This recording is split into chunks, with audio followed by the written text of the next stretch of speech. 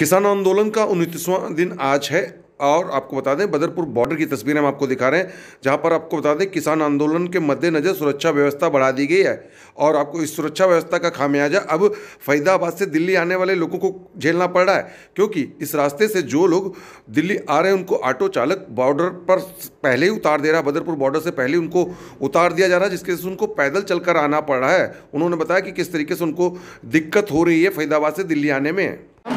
ऋतु जी किस तरीके से आप आ रहे हैं अभी बदरपुर बॉर्डर पर? क्या सुरक्षा इंतज़ाम हैं? क्या दिक्कत हो रही है? बहुत ज़्यादा दिक्कत हो रही है। यहाँ पे ऑटो वगैरह मिल नहीं रही। किसान आंदोलन की वजह से बंद किया हुआ है।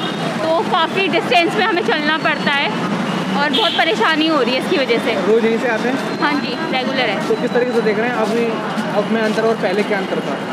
अंतर यही है कि ऑटो मिल जाता था। वहाँ से अगर कहीं आपको लेट भी हो रहा है तो आपको यहाँ से पैदल ही जाना पड़ेगा। अपना कोई व्हीकल नहीं है।